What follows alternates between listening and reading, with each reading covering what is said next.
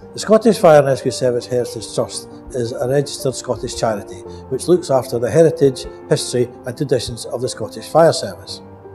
The Scottish Fire and Rescue Centre Heritage Trust Museum acts as a link between the local communities and the operational fire service. We enhance and enrich and maintain the history and heritage of the Scottish Fire Service. The modern firefighter covers a multitude of tasks but still need the same basic abilities of the firefighters back in Victorian times. We are possibly the most proactive organisation involved in conservation of fire appliances, equipment and uniforms associated with the fire service.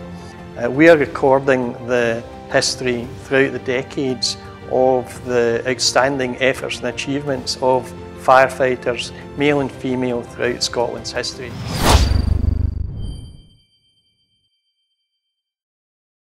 Hi, I'm Dave Adam. I'm Chairman of the Scottish Fire and Rescue Service Heritage Trust.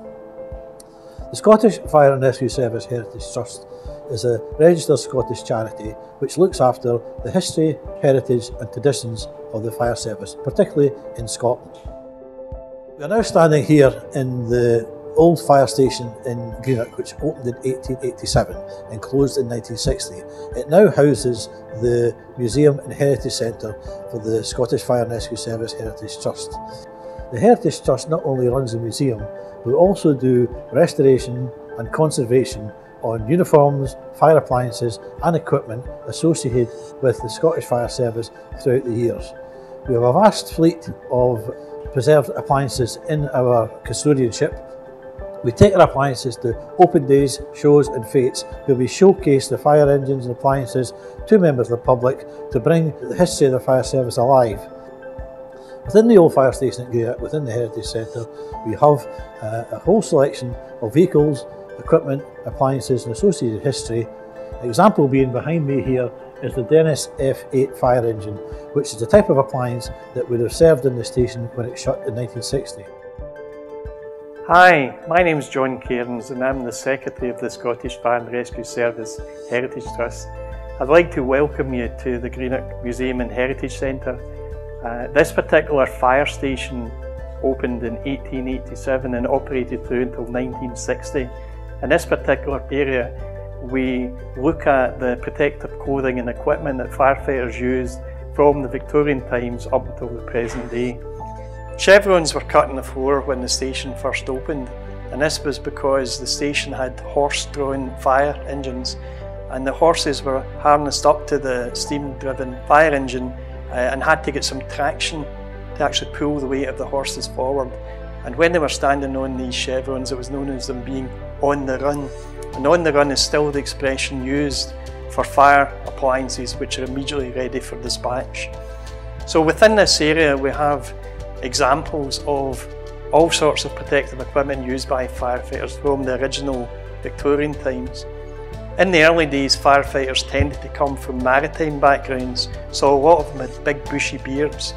And it was common for firefighters in those days to douse their beards in water and stuff the beard into their mouth to act as a coarse filter to take smoke out.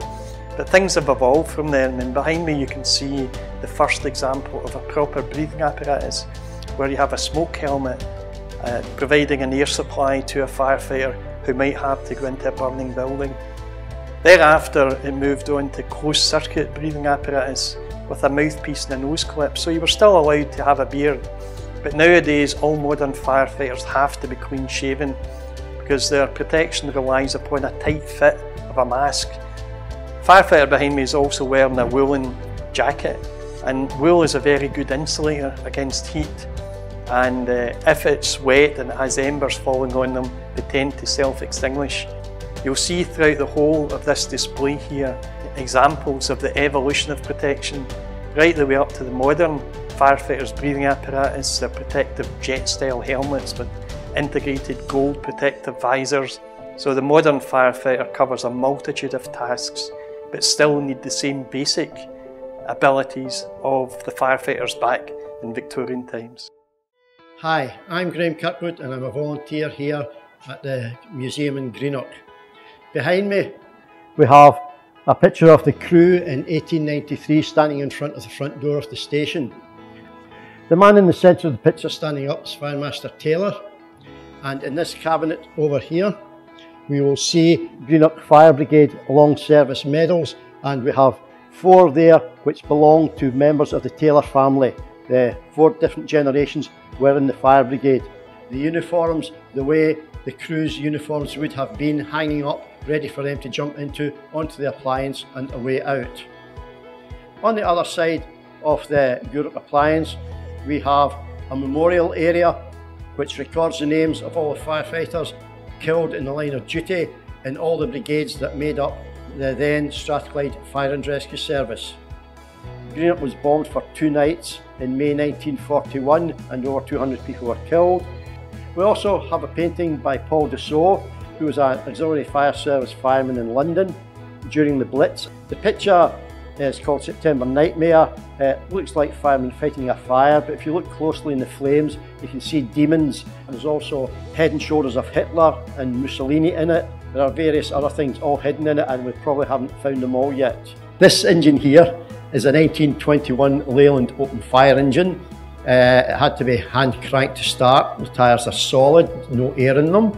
Bumpy ride on the roads. The men sat along the sides, holding onto the ladder, getting dressed on the way to the fire and the driver and the officer in charge were on the front without a windscreen, getting the full force of the weather. The chair in the corner here is a, a chair that was made by John McLaughlin, the governing chairman for Firemaster Jameson in 1993. The back piece is the wooden door from the Old Hamilton Fire Station where Firemaster Davison started his career. At the top of it we have the badge of the Strathclyde Fire Brigade as they were then called. There are seven thistles on it because there were seven members in his family. There is a stag on it because Strathclyde covered part of the Highland region. The seat is made of plywood, which has been bent into the shape of a hose. And if you look underneath the chair, you'll see a wooden hedgehog on a spar of wood. And the spar of wood are from the parallel bars in the school in Glasgow that John McLaughlin went to. I say every piece of wood is recycled, he doesn't use any new wood at all. Uh, we're in our facility here where we do the majority of our restoration work on old fire appliances, equipment and uniforms. All our appliances, where possible, we like to have them totally roadworthy so we can take them out to events. Uh, this of course means a lot of work from our volunteers who actually work on restoring these appliances and get them up to roadworthy and drivable conditions in order that we can take them out to uh, events where the public can see how these fire engines worked in their day uh, as operational appliances. Some of these vehicles are minor restoration work, some of the vehicles are total rebuilds and will take several years to do. We also have people in the background who do a lot of historical research and artefacts work. We have a complete range of volunteers who enhance and enrich and maintain the history and heritage of the Scottish Fire Service. One of our major restoration projects was our 1939 turntable ladder which served in the city of Nottingham.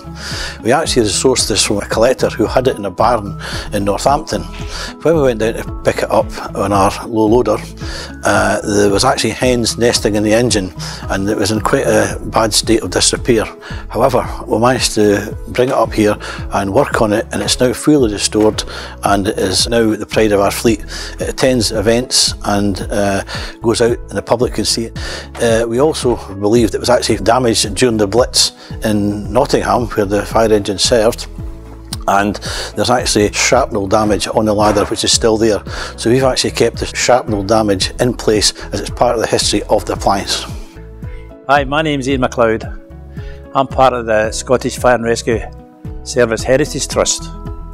I'm here helping to restore some of the vehicles. The one behind me is a Dennis F8, fully restored. that used to belong to the South Eastern Fire Service and it's now in our keep. So it's been fully restored to roadworthy condition and it goes to various events. Wooden cab and metal skinned and handmade they're all slightly different from each other.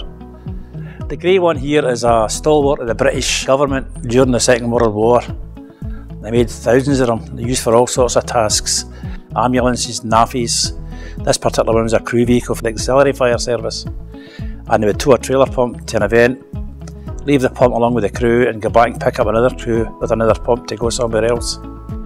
And after the war finished, rather than throw them away because they were such good vehicles, they gave them back to the municipal brigades who converted them into fire engines. and there's one in the museum, exactly the same, but it is a fire engine, fully fledged fire engine. We're doing now that the front wind windscreens, um, there are two separate windscreens hinged, they could open up for air venting.